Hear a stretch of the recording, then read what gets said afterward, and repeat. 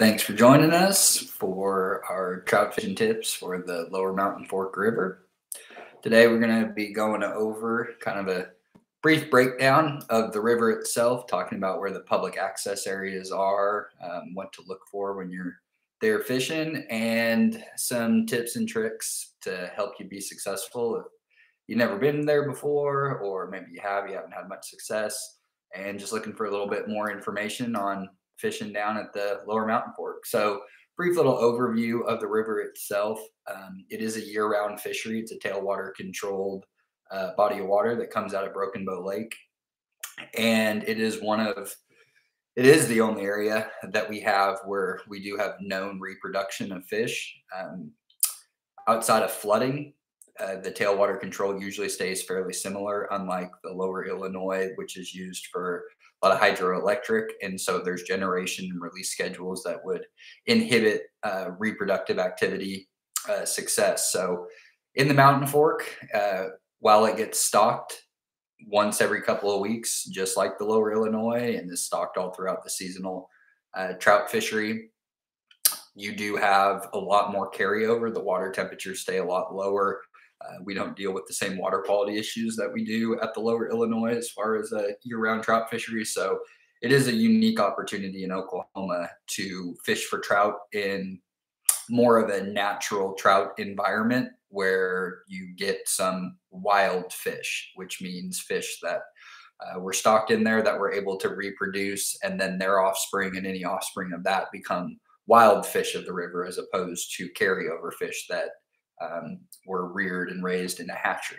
So, a lot more uh, trout information to go for the lower mountain fork than we do for most of our other areas because we're dealing with a more of a combination fishery than we are anywhere else where we're strictly targeting carryover and just seasonal hatchery raised trout. So there is some more technical elements to the mountain fork that just don't exist on some of our other um, water bodies. So I'm going to just start off kind of going through what the public access is around. So the Mountain Fork does have something for everybody. Uh, there are opportunities to fish where um, there's easy access very nearby where the parking area would be, uh, as well as easy terrain to be able to comfortably sit and fish with bait off the bottom, or for light wading experiences where it's not um, too rough or too high of flows, too deep of water, too unstable a terrain. So there's lots for everybody at the Mountain Fork. And there's also the opportunity to really kind of get into some more of the rugged sections, um, either through hiking or through wading. Uh, to areas that are less crowded and see a little less pressure. But overall, the lower mountain fork is a heavily pressured river, um, which means things like fly fishing, where you really are trying to be a lot more um, exact with your presentations. Uh, you'll find a lot more difficulties at the lower mountain fork than you may at like a lower Illinois or one of the seasonal trout fisheries.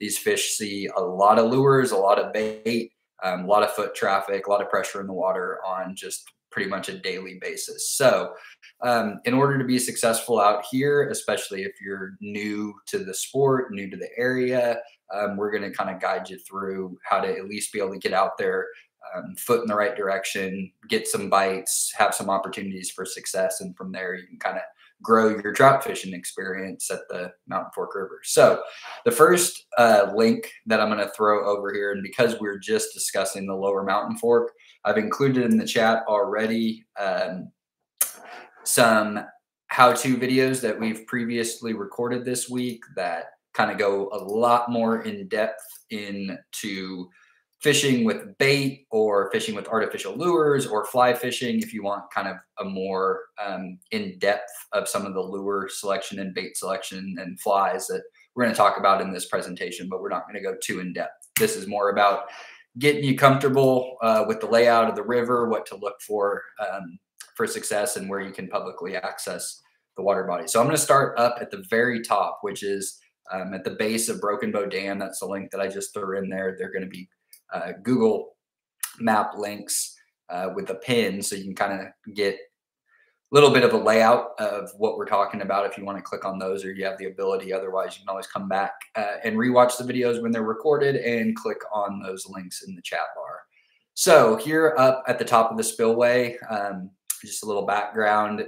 we had some major flooding back in the late 2000 and teens um, that basically resculpted the entire river and um, very in particularly the spillway we lost an area that was known as lost creek which was a small diversion um, down where spillway creek kind of turns and really becomes the lower mountain fork river. Um, we lost that. So we're basically stripped down to bedrock. We had two major floodings one um, around memorial day and then the other one about six months later in december. And we were releasing historic number or gallons of water in cubic CFS. So, um, a lot different composition. If you were been to Mountain Fork ten years ago and you went back today, um, you'd be uh, be a bit surprised. But the river has kind of come back into its form in the last few years. Um, it's really defined its new channels and really created a, a pretty cool experience throughout the spillway. So if you utilize this top area, right there, there's a nice parking area and you can fish the pool that's right below the base of the dam. That's a great place if you want to do anything, fly fish, artificial lure, um, or you just want to pop a seat on a bucket or a lawn chair. It's going to be good, easy access just right there at the base of the dam where you don't have to go far. And that's going to be a heavily stocked area. You're always going to be able to find some fish that are in there. From that, you can either take trails um, and wade downstream and along the stream side, but it is um, wouldn't say it's treacherous, but there are certainly sections that caution um, needs to be taken uh, on whether you're walking on the stream bed, what walking the edges, or you're up on one of the trails that kind of follows deer trails and human trails that have been beat down that follow the river as it goes along. You're going to have some pretty uneven terrain.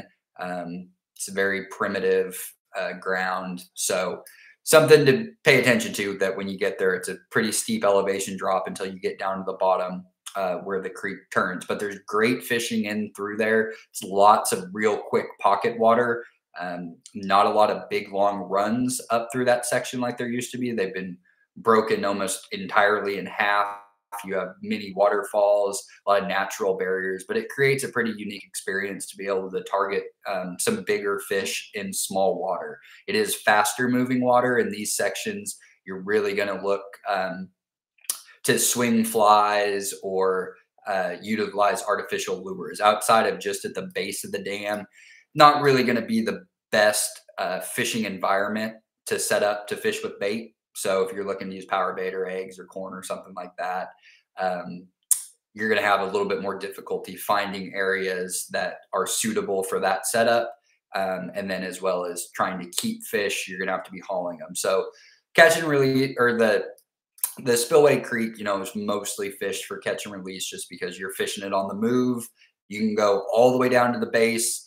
Um, you can walk 259A road back up. It's a pretty long walk. I've done it a few times when I've hiked farther down the river and it got dark than I thought I was going to go.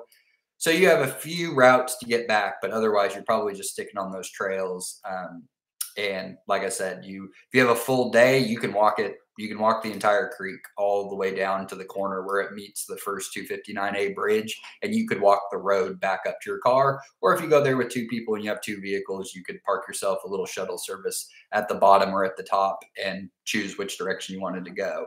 So when you do get down to the bottom of Spillway Creek, where it kind of makes its corner turn and uh, and turns into the Mountain Fork uh, River right there is going to be the new 50 uh, 259A bridge, and there's a great new parking area. So looking at uh, at the map here where we have our new bridge, I'll put a kind of a parking point. It's not doesn't really show the new gravel parking lot through there. It's still a pretty old photo. So this area has been kind of clear cut through there when we had the flooding and there's a nice parking area and there's some good easy bank access just right there. Again, it's a great place to set up if you want to bait fish. Right there underneath the bridge is a really good kind of slow, long run um, that's great for bait fishing, as well as where the uh, creek turns right there at the base of the hill and takes kind of a 90 degree turn. There's a couple of slow holes with easy access for people who don't have waders who um, aren't planning on making big long walks through the river. They just kind of want to find a couple of spots where you can set up a chair or or a bucket and uh, and bait fish through that. So those are going to be your your first two kind of points. From there, there's lots of access. Um, it is a state park. There's campgrounds.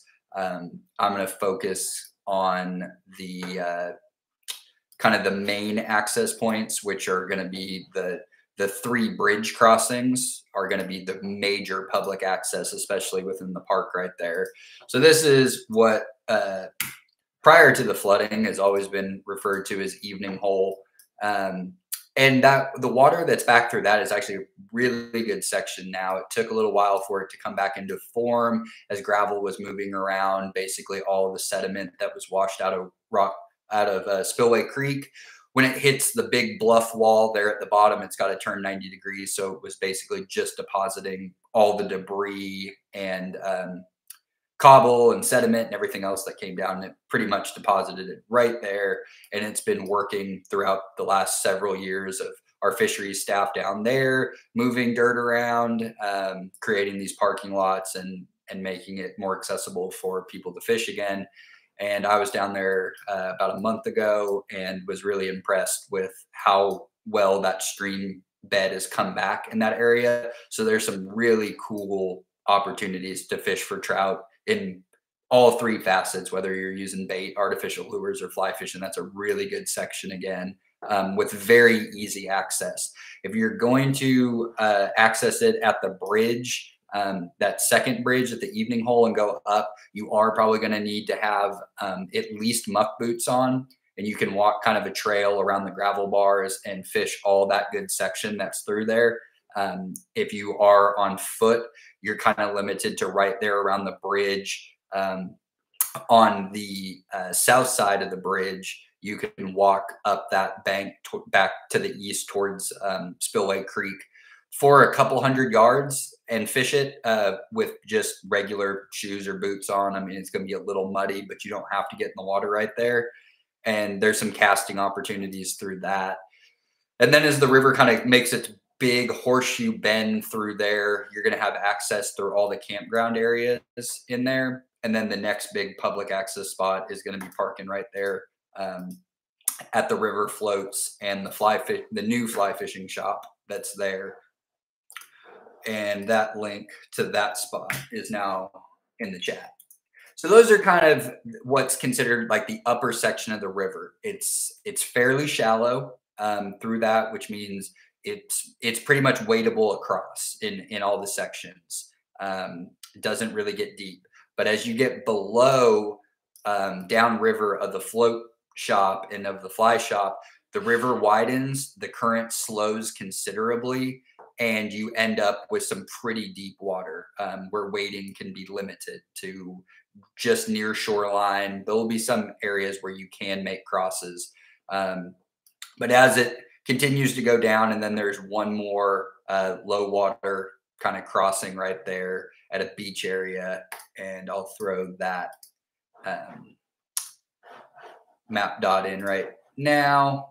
And the and then everything downstream of this is just really wide open. So as you go down this, it's a trout area all the way downstream to the Highway 70 bridge. So it is an expansive piece of water. As you get below the, this last 259A bridge, um, you're going to come into territory where you're going to find fish that have the opportunity to grow to pretty substantive sizes. Um, lots of good habitat for bigger fish to hang out down here. Start feeding on um, bigger prey sources, especially brown trout, feeding on smaller rainbows, feeding on the all the bait fish, the chubs, the shiners, things like that that are in the river. So, but it is um, as far as like wadeability, if you're just going for the first time and you haven't been there, um, this is where the river gets pretty technical as far as looking for certain types of um, runs and seams and structure, just because it widens out and it gets so deep that a lot of it looks very similar um, as you go downstream. Now, your next down, your first public access downstream of those bridges is going to be at um, the first dam that you come to, and that's going to be within the Acorn Campground at the state park. And you can park there. Uh, you can park right where this map dot is coming into the chat bar, and you can. There's a pretty sub, uh, substantial trail system that runs along the river, and you can walk down that for quite a ways. From there, you're going to have to go downstream um, a pretty long distance from there to your next public access site, which is going to be down at Mountain Fork Park. And Mountain Fork Park, again, is right below a dam. Um, so there are some opportunities to sit there and do some bait fishing where you have some nice, long, deep pool run action, and you're right there near your parking area. You don't have to go very far, but you do have the opportunity to wade down through that. So from the Mountain Fork Park downstream quite a ways, you do have some smaller water. It gets back into where you can do some uh, decent type wading. Um, there are more typical trout looking areas where you have some tail outs going into pools and your runs, um, some pocket water, some couple different channel breaks and things like that where there is more definition to what you're visually seeing through the river. So going downstream quite a ways on that, you can get into some pretty good wading access.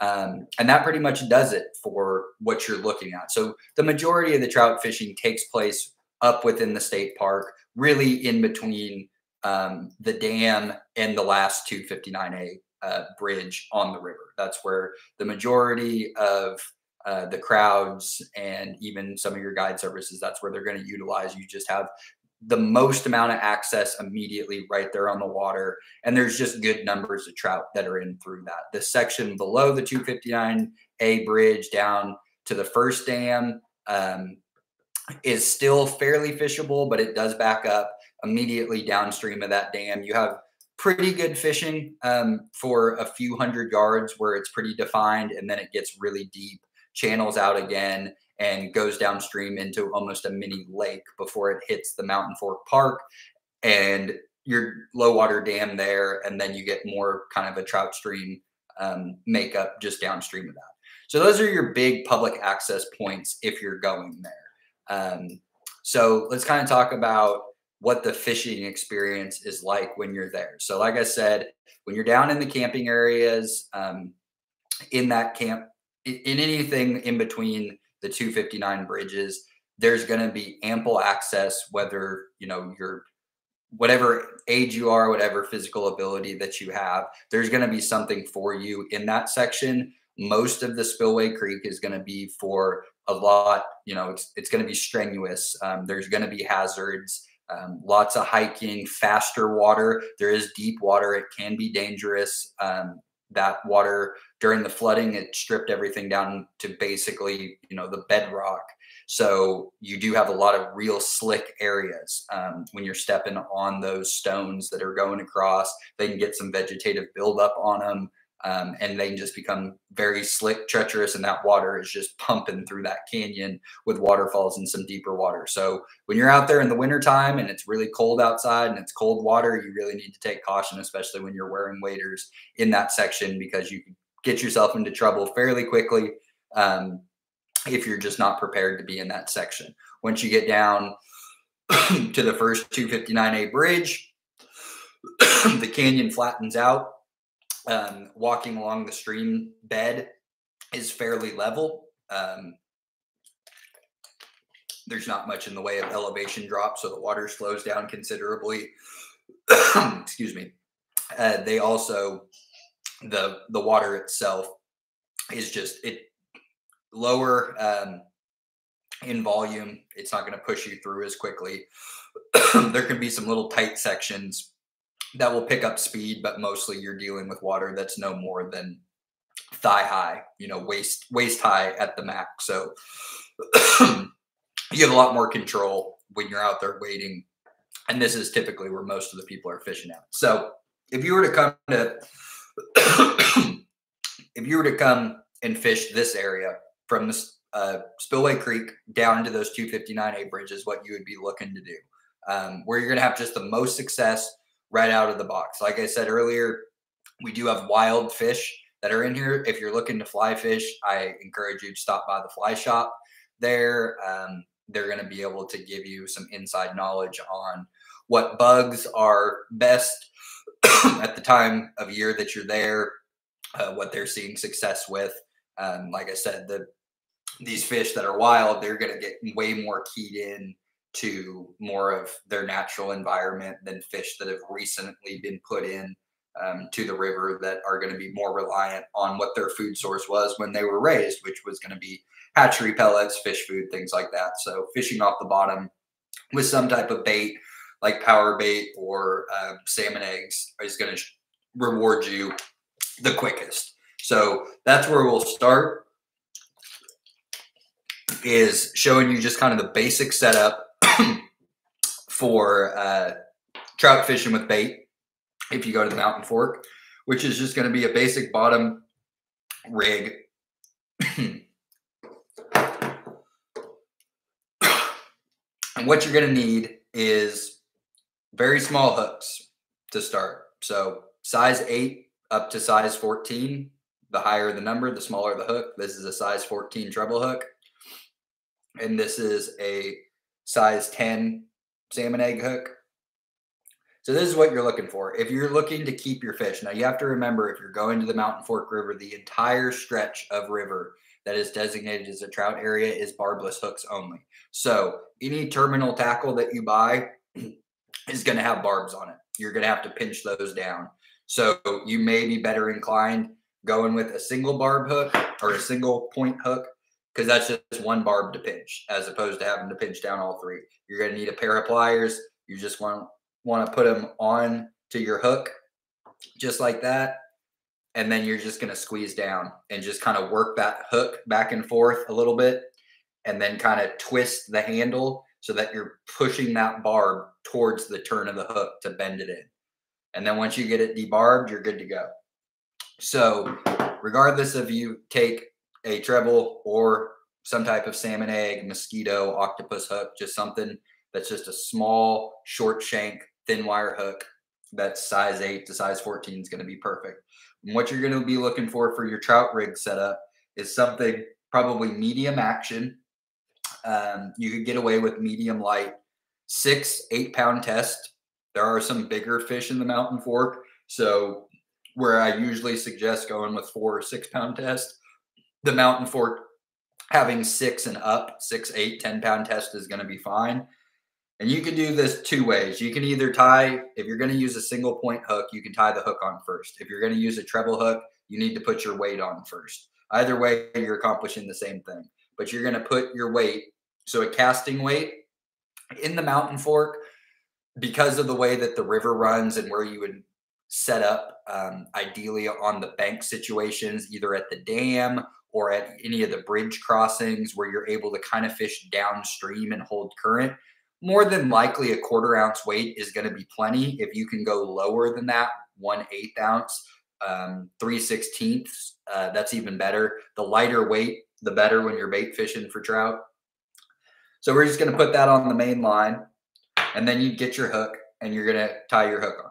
So whatever knot you like to tie, tie on your single point or your treble hook. And after you've tied your hook on, you're going to take a piece of split shot, as small a piece of split shot as you can find. All we're looking to do is find a piece of split shot that is big enough that that eye hole on our casting sinker cannot pass over it. So we just need it. And in most cases, all pieces of split shot, all the way down to some of the smallest sizes, are going to be big enough to block um, your casting weight. So you would just take your piece of split shot and you put the line through the middle of it, press it down, get some pliers, give it one pinch, secure it onto that line.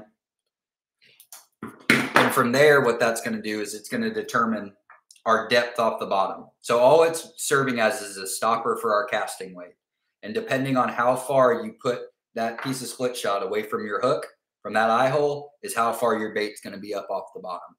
So typically about eight to 12 inches, maybe up to like 16. You really don't need much more than that, but about eight to 12 inches is perfect. So something where where your uh, piece of split shot, you know, something that's about right there. And what's going to happen is you're going to cast that out. You want to be casting it straight downstream or 45 degrees downstream, depending on where you're oriented, you're going to probably want to have a rod holder um, or a stick that you can find where you can prop up your rod because it's really important to keep your line tight to your rod tip.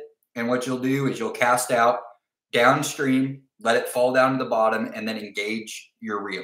So, whatever type of equipment you're using, spinning reel, spin casting, bait casting, however you need to engage your bail to lock it, you're going to slowly reel up so you can feel that weight on the bottom. And what's going to happen is, is that weight's sitting there as you get tighter on your rod tip, it's going to slide down until it meets your stopper, which is your piece of split shot. And then your line should look like that as it comes up out of the water and goes to your rod tip. You want it nice and tight. Um, and then what will happen is your power bait or your egg or your marshmallow has floating in it and it will rise and it will sit up off the bottom just like that. So that's what we're looking for in a bottom bouncing setup. They sell lots of different types of, uh, you know, bait choices, but sticking with something really simple like a power bait paste or some type of floating, what's labeled as egg, salmon egg, just anything that's a floating. But these are usually your two easiest. If you're going to go with the power bait paste, which is typically what I would use if I was bait fishing, there's no preformed mold. So, like with a marshmallow or a salmon egg, all you're doing is just working it onto the hook to completely cover your hook. Uh, with the paste, what you're looking to do is just get a little bit on your fingertip. And if you're using a single point or a treble, you're just going to take that, you're going to press it up against one side of the hook to get it off of your finger. And then you're just going to work it around like Play Doh until you've covered, completely covered the hook in some type of egg shape, teardrop shape, oval shape. And that's all that you need. You don't want, you want to try to avoid getting too much power bait. You want just enough to cover up your hook. If you're putting it on and it's more like this as opposed to this around your hook, what's going to end up happening is that fish is going to come up and either A, it's going to get it into its mouth. You're going to go to set the hook, and there's so much bait on it that when you go to set the hook, the bait itself serves as an inhibitor to your hook point actually coming through and catching the mouth and you pull it straight out of the fish's mouth. Um, what else will happen is you'll be getting bites and because it can leverage one side of the bait, it's going to end up creating a crack in the bait by pulling it from an angle where it's not has doesn't have the hook point um, in an advantageous position to be able to set the hook. And so what it'll do is it'll just peck at it and it will eventually just pull that power bait off before you ever had a chance to even set the hook. So just enough to cover up your hook and you're going to be perfectly situated to do any type of, um, you know, bait trout fishing at the mountain fork or really anywhere that you go. The biggest thing is just trying to get yourself in a spot, typically a little bit towards the tail out sections um, of current you don't really want to be throwing where the river is pumping right into you because what ends up happening is you're going to cast out. The current's going to be way too strong. Um, the big thing about this setup is that by using a piece of split shot or even a very small swivel could accomplish the same thing. The great thing with this setup is when you're done, especially if you're using a single point hook, you can just simply remove your uh, piece of split shot and then you can pull the weight down your line and it'll actually just pull right over your hook and then you can secure your hook to your rod and travel without having a big weight on it that could damage your rod or damage other things in however you're traveling with it um, but the big thing with trout is unlike your bass or your catfish when you bait fish for them and they typically inhale the bait um, and then your line is just swimming off away from you because they're bigger sized fish. They typically aren't really paying attention as much to that immediate small pressure that they're feeling from being able to carry their line. A lot of times when you're fishing with for those types of species, you're using heavier weight. You have a little bit more slack in your line already so that that fish can just pick up the bait, engulf it, and go. With trout, they have these conal shaped mouths. They have to bite on that bait to get it to the back of their throat. And so the one thing we don't want them to feel is the pressure of the weight. We don't want that weight pulling back against the bait. So by having it on a casting sinker like this, you actually see the slippage. So it's able to pull that bait And the smaller that split shot, the better. It doesn't actually feel any of the tension. And so it's able to bite, bite, bite, and for you to have enough time to be able to actually go and set the hook. So that's really the easiest way um, that you can just get right out of the car, go catch some fish by bait fishing, and that's going to be effective anywhere where you go to trout fish here in Oklahoma. Um, but with the mountain fork going with some type of bait. You can experiment with power bait colors salmon egg colors marshmallow colors flavors scents. Typically it's just find something that is a little flashy um, something with some sparkle in it. Um, corn is popular the corn flavor the corn scent um, lots of garlic scents rainbow colored nymph purple um, I've had success with all of them. I don't favor one over the other. Uh, so it's really just more about your setup, more so than like the actual bait color or scent itself. You're just trying to get yourself situated that when that fish comes to bite, um, you're putting yourself in the best opportunity to be able to actually take advantage of that bite, set the hook, play the fish, land the fish.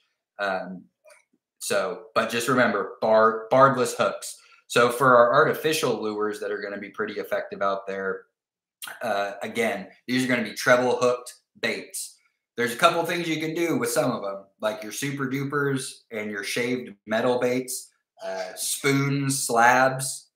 I prefer gold. Um, if you're going to just get straight out of the box and utilize a metal bait, one eighth to one sixteenth ounce um, in some type of gold super dupers, 501s, 502, 503 sizes, gold, little bit of flash to them. But every single one of these baits has a treble on it, but they're also on a connector ring. So you can actually remove this treble hook if you wanted to from this ring. You could replace it with a single point hook and barb that hook. You could also buy barbless hooks and replace them or you can just take like we did with the terminal tackle and you can just go ahead and pinch all those barbs down. Um, but make sure that you're using a good heavy pair of pliers that if you use forceps smaller like what you're using for trout to remove the bait and you try to get it out of there um, you may not have enough force to really be able to bend over um, that lure. So definitely want to make sure you're doing that now that we have the entire river as a barbless section. Inline spinners are not uh, most of the time, especially like an actual rooster tail Worden's, Yakima bait rooster tails. You're not going to be able to remove that treble hook. It's a part of the entire setup. So with these, you would have to pinch the barbs. But these are going to be your go-to colors. If you're getting rooster tails, you're looking for an olive gold flasher or some type of brown with a gold flasher these two, an eighth of an ounce or a sixteenth of an ounce. If you're going to use a sixteenth of an ounce, you're going to be looking at using some type of light action rod or a medium light action rod, no more than six pound test. It could be fluorocarbon or monofilament, doesn't make much of a difference. Um, but you want to make sure you're using two, four, six pound test with the spinning setup. Because if you go and try to throw the 16th ounce or something smaller than it, and you're using eight pound test or even six pound test, but on a medium action rod, and the tip is not soft enough to load this very light bait to be able to throw it, what you'll end up doing is you'll throw, your line will jump off of the spool, and you'll get those dreaded bird's nest, line twists, all the problems that you know cause headaches on a day of fishing. So you want to throw the real light ones, the 16th ounce and smaller, really want to be looking to have a setup that's a light or medium light action rod, six pound test and under. Now, the eighth ounce are a great intermediate for everything. You can throw these with medium action rods, medium light action rods, light action rods, six pound test, eight pound test, 10 pound test. You're going to be able to throw the eighth ounce a little bit better, just a little bit more weight, and you're not going to have the jump. Um, if you're using spin casting equipment with the buttons and you try using the 16th ounce, most of those um, come pre-spooled with 10 pound test on them, and they're usually medium action rods. You try to throw something too light instead of getting the line jump that you would normally get um, with an open face spinning reel. Instead, what's probably going to happen is you're going to go to throw it and it's going to throw it straight down. Um, it's just not going to have enough to load it to throw. So when you come through, it's just it's not going to go anywhere, or it's going to throw it straight down into the water or the dirt. So pairing these super light deals with the right type of equipment is going to put you on more fish more often, um, just because you're going to spend less time dealing with problems with your equipment and you'll spend more time in the water. With all of these lures, the shaved metal ones and the inline spinners, what you're looking to do is always position yourself from a downriver orientation so that you can cast upriver. You want to be looking to cast about 45 degrees upriver and cross current. And with the shaved metal ones, like our super dupers, our spoons, and our slabs, these ones, because they don't have a blade on them, it's not as important uh, when you get them going. You can actually cast them a little bit farther upstream. You just need to be reeling fast enough that you can keep up with the current. Um, other than that, it's going to be flashing and moving depending on what type of swivel or how you have it tied on or how the bait itself was made. Um, but it's accomplishing the same thing. And what it's doing is it's allowing for your bait to be in the strike zone longer. So if you're fishing the area of the mountain fork up above uh, or in between the 69 bridges, you're really dealing with water that's typically less than four feet deep. There are some holes and runs in that section that are going to have deeper water, but by and large, you're dealing with water that's typically less than waist deep. So utilizing 16th ounce lure presentations is perfect because you can keep that right in the middle of the water column. And with an eighth of an ounce, you can speed up your retrieve a little bit, but you're going to want to try to keep them up off the bottom with those trebles. They're going to grab pieces of grass or sticks or other fishing line that's down there. So the goal of all these baits is just to keep them right in the middle of the water column for as long as possible. So by throwing 45 degrees upstream, you close your bail, you begin to retrieve just a steady retrieve. You're just trying to keep up with your bait. And when they hit them, you're going to know it. Uh, each of these baits fishes a little bit differently. They're going to have a different sensation on the rod tip. Uh, with these super dupers being a shaved piece of metal, they allow water through. They're on a half swivel, so it doesn't allow them to fully rotate. So it rotates them back and forth. When they come out of the package, they're going to look something just like this, but you can pinch them down to the metal and create a faster, tighter wobble and a faster fall rate as less water is being exposed to the metal.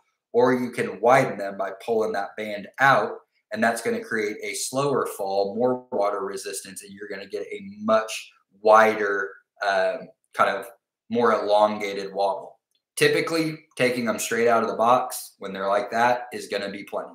Um, and you're just going to straight retrieve them they're going to feel the lightest of all of the baits. Now, something like a spoon is going to be your second lightest, but because of its shape, it is going to catch more water resistance. You're going to feel more of a pulse coming from the rod tip. And then the slabs are going to be the heaviest, and you're going to really feel those the whole way in. Now, with the inline spinner baits, the one key difference when you're throwing these upstream, when you're throwing them 45 degrees up, is that the blade, because it is an inline spinner, is meant to rotate around the shaft of the entire lure. In order to create that, it needs tension from the pulling side, so from the retrieval side. So if the current is moving faster than you are retrieving, what's going to end up happening is that blade is going to get sucked into the body and it's going to kind of do this on the way in. And it's not going to be effective. So in order to keep that from happening more often than not, when you cast it upstream, all you're doing is when it hits the water, snap your bail and when you start to retrieve and uh, start to reel, give it a quick hook set. Um, it doesn't need to be like a full on fish hook set, but snap your wrist with the hook set in whichever direction that you're oriented with your cast. What that's going to do is it's going to apply immediate pressure to the end of the bait that you can then catch up to with on your reel, and it's going to get that lure spinning. So with these inline spinners, you should always feel just a constant vibration on the rod tip. If you're not feeling steady vibration on the rod tip, more than likely it's because you can't you didn't catch up to the blade, the blade's not spinning, or you have line wrap down around the treble. What also could happen is if you're using way too heavy of equipment in line test that you can't actually feel the bait itself because there's not enough sensitivity with the rod and with the line. Um, it may be working, but you don't feel it as well. That's why it's important to try to pair when you can these lighter lures with the proper rod and line poundage just so that they it's easier for you. You can feel you have more feel, and so you miss less bites. You feel more structure. You start to get more in tune with the differences between you know a fish strike, the bottom, uh, snags, anything like that. But those are going to be your key baits. I'm partial to a 501 or a 502 super duper. It's got a little metallic plate on it. It's called Prism Light. They also sell them in gold where it's just straight like that on the front with no flashing. Sell them in silver, chartreuse, trout patterns. Same goes for this all the metal baits and the inline spinners. There's a smattering of different color spreads that you can have. But if you're just looking for something very basic, tried and true that gets bit a lot, sticking with gold metal baits or some type of naturally colored inline spinner. Browns, olive greens, blacks, and whites. Those are really good starting points. Um, but those are kind of the key things to remember when you're fishing. And like I said, with the mountain fork, if you're looking to fly fish, there's always some tried and true basics that are out there for fishing. Um, woolly buggers, kind of think of woolly buggers like uh, you would an inline spinner. Uh, we're just looking to match natural natural colors. Um, so woolly buggers, uh, streamers, minnows, articulated uh, flies that you can swing, fishing them in similar manners that you would uh, the artificial metal baits, 45 degrees upstream, allow them to swing. The reason that you don't want to fish either fly fishing or with artificials casting downstream or at least cross current is what happens is that current's going to push your lure downstream so fast and with the tension to your line it's going to raise your bait all the way up to the surface eventually so it gets it out of the strike zone we want that lure down near towards the bottom or middle of the water column is for as long as we can get it to come in. Um, the quicker that it gets higher up into the water column, the less likely you're going to get a trout to come up to get it, especially when it's moving upstream. So, fish that live in rivers are looking to receive food from upstream, they're looking to ambush from downstream positions. So, when they have baits that come buzzing by them from downstream, upstream, not only is that a pretty unnatural presentation for a bug or for a bait fish to be swimming that fast up into the current, you're just less likely to get something to chase from behind it. So they're really looking for food that's coming kind of down at them or cross profile. So when we cast upstream, you're allowing to stay in that fish's uh, vision for longer periods of time, which leads to more bites, which leads to more fish caught. So that's really the key thing. Um, but with fly fishing, if you don't stop by the shop, you just stick to your basics when you're out there. Woolly buggers with, you know, uh, rubber legs.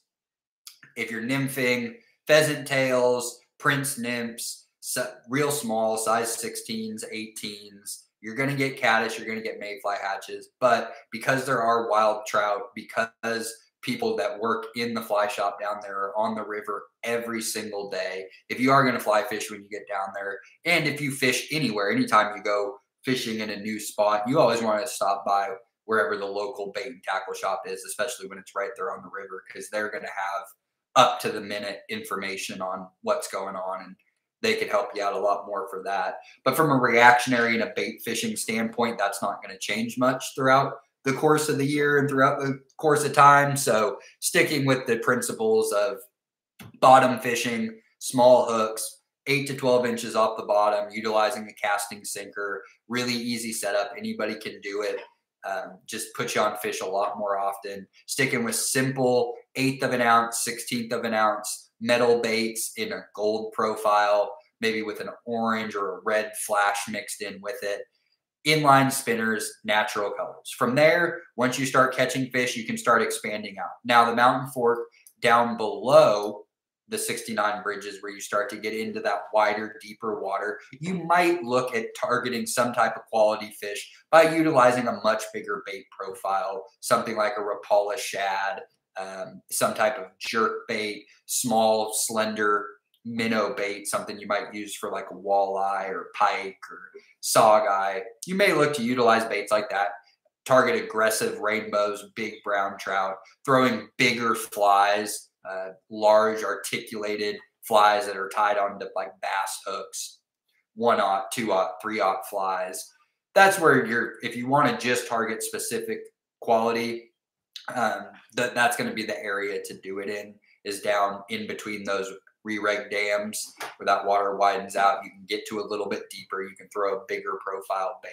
But for all intents and purposes, you can still catch the biggest fish in the river with the smallest bait possible. You just can't catch the smallest fish in the river with the biggest bait possible. So I'm a big advocate of always downsizing, um, utilizing baits that get you bit more often by more fish. Just allows to to build within the sport, um, build that confidence to where you can start finding those areas of the fishing that you really enjoy the most, and then kind of tailor your fishing experience from there. Um, if you haven't been to the Mountain Fork before, up at the top of the chat, I did include our trout angler guide that has uh, information on all the trout areas in the state of Oklahoma, along with helpful information that you may need if you've never been to a place before, like bait and tackle shops nearby, where to camp, contact information, things that are just going to kind of help um, enhance your trip down there. So we got about 15 minutes left here. If you have any questions, please put them into the chat. We'll address them. Um, when it comes to the Mountain Fork, really the biggest thing is that understanding it's a heavily pressured river. You're going to run into a lot of um, other anglers, especially if you're fishing in and near the bridges. Uh, those are just the easiest public access spots to get to. If you're an adventurous angler, uh, if you like to get a hike in, you know, with your fishing, I really encourage you to check out the the Spillway Creek area. You can either park down at the Skyline Trail at the first uh, 259A bridge and walk upstream, or you can park up at the dam and you can walk downstream. Either way, there's a good trail system on both sides of the river and you're just going to get into some pretty rugged remote areas and you're not going to see very many people. And there is an opportunity in that section to catch some pretty gnarly fish. Uh, they have to live in an environment that is very much different than once you get below the 259a bridge which really slows down. You get a pretty quintessential trout stream um, in between those bridges and then as you get downstream of that it becomes more of a technical river where it all looks the same. It's much deeper. Uh, finding fish in those areas can become difficult because they may all be in a very key area. And that's when utilizing resources like the fly shop down there to get some information can be helpful. Um, but the barbless hook thing is is very important. You don't want to get yourself a ticket because you hastily took something out of the box, threw it on there, didn't think about it planning the trip down to Mountain Fork, you probably want to get uh, your fishing gear together first. Maybe barb, debarb those hooks ahead of time in a singular box. The great thing about trout fishing is that you don't need much because all the baits are pretty small. So just like a double-sided tackle box that fits right in your pocket, that's pretty easy. You can load those up with a few metal baits, inline spinners, some hooks and weights, and put a thing of uh, power bait in your pocket, and you're good to fish a whole bunch of different ways while you're down there. And having your hooks debarbed already is going to save you a lot of hassle. It's no fun trying to tie on and do all that work when you're actually on the river. If you've been catching fish or if there's fish rising, if there's a lot of activity, um, the more time you can spend in the water, the better. So trying to eliminate all those little things that you may come across, little mistakes that get made that um, might put barriers to potential future fishing trips. That's what these courses are trying to to help identify and and help you get into a better spot to where you can get bit more often, which leads to more playing of the fish, more landing of the fish, building that confidence. Sport or fishing is a confidence building sport, and so um, you know a lot of the mistakes that we see for trout anglers is usually the equipment itself um, using way too heavy a line, way too heavy of equipment, way too big of lures, um, too big of hooks, especially for bait anglers. The hooks that we show are going to be size 8 to 14. Um, when we're out on the water and we see people and we hear, you know, not having much success, and you look at a setup and you see that they're using a size one hook or a size three aught hook, um, that's just imme- that's that's immediately the problem. Uh, you may be using the right bait, you may have the right setup with your bottom bouncing and everything, but you're just using a hook that's way too big, and that's what uh, the barrier to success was. So we try on these asking anglers to identify those areas um, where you may have those hangups. But there's anything that we can ever help with, you receive uh, the link to this video via email. You have my contact information. If you just hopped on, saw we were doing a live feed, uh, you can go to wildlifedepartment.com, go to our fishing resources page, scroll down to the bottom. My information's there. Call, text, or email. I'll try to put you on the best information possible or point you in the right direction to help you have the most successful fishing trip, either by yourself, with a partner, with your family. Um, that's what we're here for. Uh, along with the fishing license, is a trout stamp required? No, we eliminated the trout stamp about a decade ago. So you just need a, a valid state fishing license, whether that's a resident, non-resident, uh, annual, fiscal, one day, whatever. However you did your license, you just need a fishing license to go. Um, no more no more trout stamp. Uh, we've also changed the limit of fish that you can keep. Um, Lower Mountain Fork was historically a pretty heavily uh, regulated river as far as different regulations that were on the river. We've tried to simplify those for anglers so there's less confusion with zones. We currently just have Area 1 and Area 2 where the regulations are identical except for the size restriction, which downstream of the re-reg dam in area two, you're limited to one fish and it must be over 25 inches. Whereas above that, it's just the uh, the three fish. So however you can get to your three fish limit, whether you're fishing in area one or area two or fish combined. When you're fishing in area three, the fishing regulations are the same. There just is not the size restriction um, when you're fishing downstream in area two same fishing regulations. It's just a size difference. Um, you can only keep one over 25. And we hope that that simplifies it a little bit for people. And then we just have asked that it's barbless hooks throughout uh, because we do have not just carryover in the river. Other trout areas, it is not as important to us biologically um, for the health of the fish because they will not survive naturally. Um, even in the lower Illinois, a lot of those fish are going to kick back. We have found trout in Kerr Lake. So they will run with the water temperatures. And in the summertime, those water temps get up above 72 degrees. We can lose fish. At the Mountain Fork, we still have a very pristine tailwater, good oxygen, good water temps throughout the course of the year.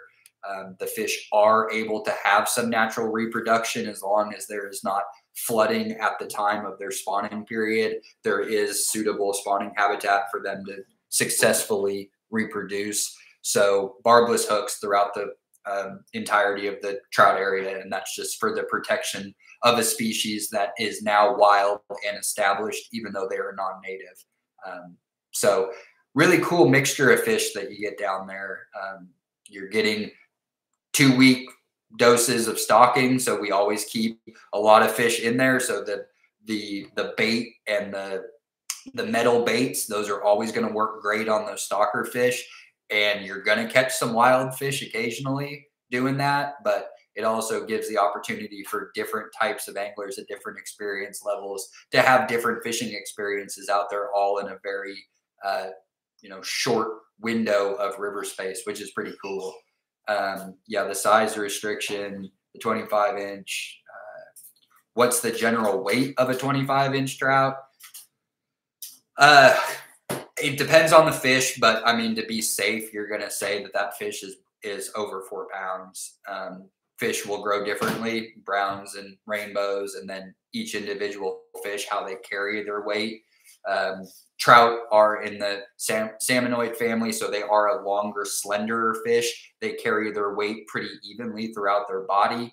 Um, they kind of turn into what ultimately looks like a football eventually when they get bigger. Whereas your largemouth bass, catfish, sometimes their length is not indicative of how big they actually are weight wise because they carry more of that rounded bowling ball shape, whereas a trout will kind of extend that. So you get to 25 inches on a fish. Uh, in a trout, you're looking at something that is well over four pounds at that point. Um, that could be a fish that's already up into the upper single digits, just depending on how it carries its weight, what time of year it is, how well it's been eating, a lot of factors. But a 25 inch fish is a very big fish. And having a restriction like that, knowing that there are those types of sizable fish that are self sustaining in this river system, um, that's pretty cool. Uh, you're just you're not going to get that anywhere else in the state as far as year after year being able to produce fish of that size. Are there any cutbows or cutthroat in Oklahoma? Um, have we ever considered stocking cutthroat? Uh, they're not cutthroat aren't going to do very well here. Um, cutthroat are of all the trout species um, one that is very susceptible to environmental change as well as introduction um, with other species. They're typically run out of their own habitat by browns and rainbows. Stocking them in Oklahoma would just be cannon fodder for other species to eat. Um, there might be an occasional brook trout, depending on where we get trout from, that gets slipped in with the rainbows occasionally, but for the most part, we're going to stick with stocker rainbows um, and brown trout when we when they're available to get. We as the agency only stock rainbow trout. We get um, a small supplement of brown trout from U.S. Fish and Wildlife, and we have over the course of years gotten them through trades with other states. Um, when we've we've provided hybrid sunfish to Wyoming, for example, to get um, some brown trout that have been stocked at our year-round. Best month for catching them uh, trout are cold water species, so winter months in Oklahoma are usually pretty good. Uh, that's why it's our seasonal schedule. But typically, they're pretty aggressive um, in the the early summer months, and then again in the fall months. You can catch them all throughout the winter. The winter time is their typical spawning period. Um, so you're going to have fish that are actively moving around, um, but really kind of that late fall period trout as a whole kind of tend to go into a gorge period. And then again, once you get into when the water temperatures kind of come out of the really, really cold freeze in the winter, but being in southeastern Oklahoma, that never really comes into play. So the mountain fork, for all intents and purposes, is a pretty good all year fishery. Um, just because we're pulling really cold water out of the bottom part of the lake, but it also doesn't get cold enough in the winter to really lower those water temps to such a low level where the trout get lethargic themselves when you start getting down into the low 40s, high 30 water temps. Mountain Fork is going to average, you know, high 40s in the winter, which is still going to provide pretty good fishing. So anytime that water temps are in between 55 and 65, but really 55 to 60, that's like prime time trout fishing and the Mountain Fork holds similar water temperatures to that pretty much year round. But biologically, typically it's the summer months when they're looking to gorge on terrestrial bugs, your bigger bug hatches, they can go after meatier meals. And then again, in the uh, late fall months, you might get a bug hatch, but you can also target them pretty good with um, bait fish imitating, which is going to be your hard metal baits, uh, jig flies, uh, woolly buggers, articulated flies, um, that's when you're really going to have success at targeting some of those bigger fish. Uh, how do OK trout react to cicadas? Do they key in on them? Uh, is there stonefly hatch? Uh, I don't. There's not. It. We do have stoneflies. I, I, you're not going to see prolific hatches like you would think of, like being up in the mountain west. Um, your better bet for targeting trout at our year-round fisheries with dry flies is going to be terrestrial bugs, hoppers, ants, foamy bugs, caddis, and mayfly hatches. Um, but uh, as far as cicadas go, I, I don't know. Um, I don't have an answer. I would imagine it's a pretty big bug. Um, you know, stone stone flies and and salmon flies. They're still a slender body for those trout to come up and get. But I know that carp key in on cicadas. I don't I don't know why trout wouldn't as well. But I haven't haven't been down there fishing when there's been um, cicadas out and around. I'm usually there in the the later fall or winter. Beetles, yeah, you could use some type of foam foam black beetle uh, as well. That would be probably get some strikes on that during the summertime. But with that, that's bringing us up on an hour right here. Um, appreciate everybody being on here. If you ever have any questions, please reach out to us um, up at the top of the chat. There's links to our other how-to videos that we've had. Um, this kind of concludes our uh, virtual trout series for the winter for 22, 23. We're going to have some live in-person clinics coming up in January and February at our uh, urban fish or trout fisheries here in Oklahoma City and up in Tulsa. Will be in late January um, in Oklahoma City and again in early February. And then at the end of February, we'll be up in Jenks at uh, Veterans Pond. So you can always check out our events page at gooutdoorsoklahoma.com, see any upcoming fishing or hunting events that we have ongoing.